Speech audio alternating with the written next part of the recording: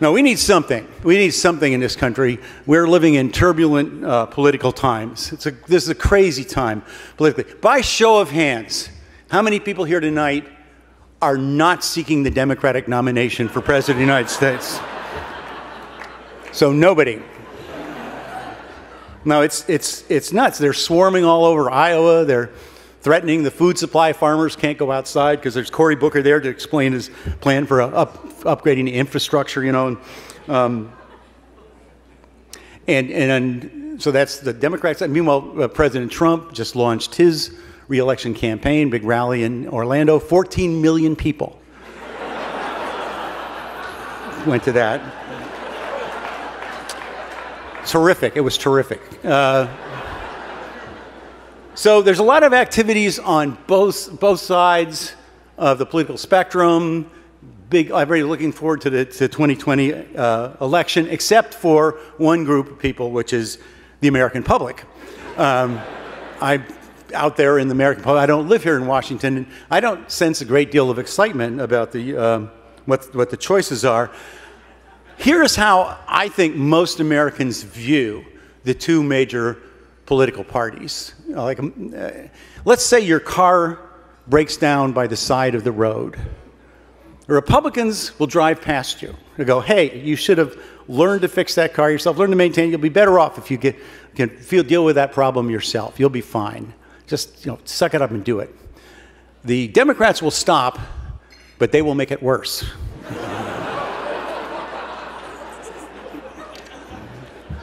So those are the choices America sees ointment or suppository. And I say we need a new way. We need a third way. We need a better way. And that's why, in a moment, I'll, I will pause for your spontaneous applause. But it, as Catherine said, I am running for President of the United States. Thank you. Thank you and I'll tell you my views. And I, I oh, hope I don't offend anybody, but I am not a wishy washy, hold a finger to the wind, take a poll kind of candidate. I tell you what I think, I speak from the heart, I lay it on the line. Take it or leave it, okay? I agree with you.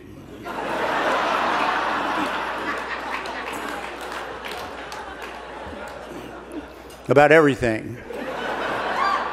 If you change your mind, let me know. That's the kind of leadership no, I do have, I do have some actual views, um, some policies. And Catherine mentioned the first one, the one that got me into it in the first place. I really, I favor the death penalty if we can find it.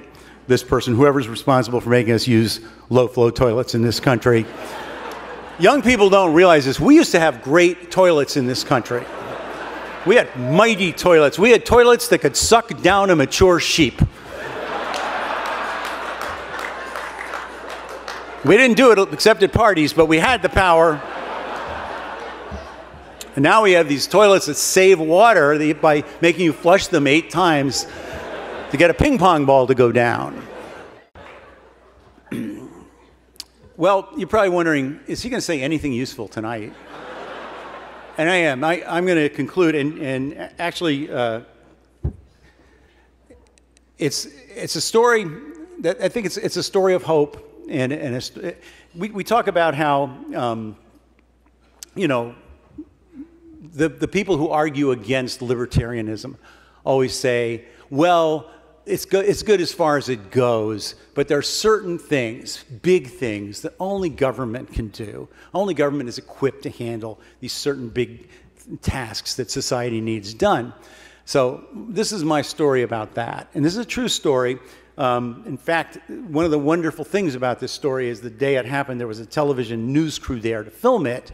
And the film of this TV news broadcast ended up being a legend on the internet. But it's my favorite single example of government taking care of a big problem um, that we shouldn't leave to private enterprise. Uh, and if you don't believe me when I tell you the story, please go to YouTube and look it up because, if anything, I will be under uh, representing how bad it was. Anyway, so what happened was the, the problem, the big problem that private enterprise couldn't solve was that a dead whale washed up on a beach in Oregon. So some of you are familiar with this story. It's the best story. Um, it really is. The, the, the, the human race should have ended the day this story happened because we'll, we'll never have anything as good as this happen again. Um, so this, there was a, a, big storm off the coast of Oregon, and this a very large whale, 43 feet long, eight-ton whale, washes ashore, gets pushed way up on the beach, dead, and lies there in the sun, starts to rot and stink. So obviously, this is a problem too big for private enterprise, so they, they brought in a government agency to handle it. Specifically, they brought in the Oregon State Highway Department, which is called the Oregon State Highway Division. I'm not sure what the thinking was there. I guess a whale is a big thing, and a highway is also a big thing. So these people would have the expertise needed. So the TV news broadcast, which is truly wonderful, begins with a man named Paul Linnman, who was then a young television reporter in Portland standing in front of this huge whale carcass with seagulls walking around on it. And he says, You might say they had a whale of a problem here. You know, it's like, it's TV news. And he then introduces the head of the Oregon State Highway Division crew, a serious man in a hard hat, um, to explain what they're going to do. And this guy doesn't come right out and say they've never disposed of a dead whale before, but you begin to suspect that might be the case when he reveals that the solution they've arrived at is to use dynamite. and he states that they were not sure how much dynamite might be needed, so they went with half a ton. half a ton of dynamite. And sure enough, behind them, they're digging a hole under the whale and putting these big cases of dynamite under this whale. It's a highway crew. I don't know if they followed the full official highway crew procedure and put the orange cones behind the whale you know, and a guy with a flag in case another whale comes along, you know. But anyway, the guy explains the plan. Here's the plan they're going to blow up the whale with the dynamite. The whale will then be in little pieces. These pieces will then be eaten by the seagulls and other marine scavengers. And there you will have it a textbook whale disposal. So the next scene they have backed the camera up behind a sand dune about a quarter of a mile from the whales. Looking over dune at the whale. They've also backed up the spectators. And there was quite a, quite a few people came out to see this event because let's be honest with ourselves. If you knew that they were blowing up a dead whale anywhere in the District of Columbia tonight, you would not be here. So anyway, so you're looking over the you're looking over the dune. It's a peaceful scene. There's the whale, Pacific Ocean, the seagulls walking around. Then you hear a countdown: 10, 9, 8, 7, 6, 5, 4, 3, 2, 1. Then you hear an explosion. Huge explosion. Huge cloud of smoke envelops the whale. You cannot see the whale at all at this point. Then you hear some people cheering, going, Yay! then you hear a voice go, Oh my God. And then a smear appears on the camera lens. And then it goes dark. Because what's happening now is gravity. gravity, which apparently no one had informed the Oregon State Highway Division about gravity is causing this substance, and I've talked to people who were there that day and said it was the most disgusting thing you ever saw. It was the rotted insides of a dead whale coming down, coming down all over the place, all over the beach, all over the spectators, and well beyond.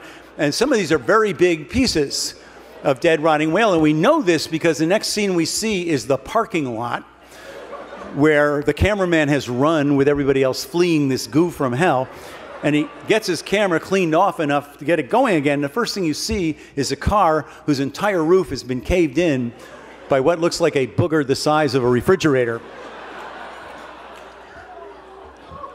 And wouldn't you like to listen in on the phone call to that insurance agent?